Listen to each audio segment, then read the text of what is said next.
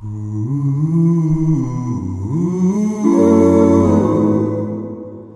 there, I look like shit in this video and I don't really care, I just didn't feel like doing anything with myself today.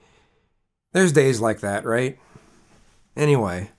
Anyway, a while back I made a video saying that I'm tired of living in the fear of the judgment of the left. And that, at the time, I felt it was worse than the judgment from the far right. I pushed the notion that there is no path to redemption from the far left. But in reality, there is a path to redemption. It's just not something I think is worth doing, and so I won't.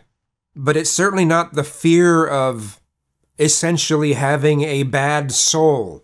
Recently, though, after it was made abundantly clear by a number of, of figures from the right who don't consider themselves far right, but their ideas certainly are, one person uh, made a video that made it really big on BitChute.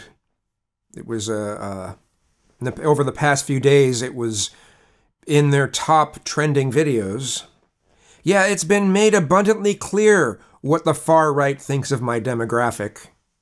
And I was reminded that the path to redemption from the right is far, far worse than the path to redemption from the left. See, with, with the right, there's all these rules as to the way that you're supposed to live and the way you're supposed to think, plus, plus the afterlife argument, right? The abomination argument. It, it's a twofold thing.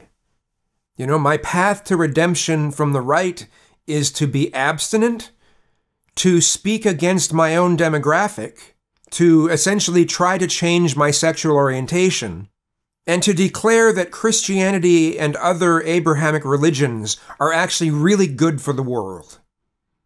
Yeah, I, am not going to do that. At least not anymore. There was a period of time when that kind of mindset, it, it, I mean, over this past year, where that kind of mindset was affecting me quite a bit. But I've had enough. After seeing the logical conclusion that a lot of these right wing viewpoints go towards, even though they don't think that they're far right, they actually are. Yeah, I've had enough.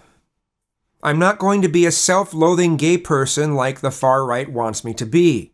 Out of my trying to be open minded and considering the viewpoints of people who just seem like they're dead set against my demographic, I've experienced enough of the self loathing from that side of things that I've just had enough. I'm done. I'm just not willing to endure any more of it. Fuck the far right and the moderate right wingers who try to pretend that the far right either doesn't really exist or it's not really a problem. Yeah, fuck them. And fuck the left who does the same thing with their side. These extremes of both sides are a serious problem, primarily because those are the voices that are the loudest. They're the ones that people hear the most. And they're why people go to extremes to counter these things. It's like a Chinese finger trap. We have to approach these problems differently than we have.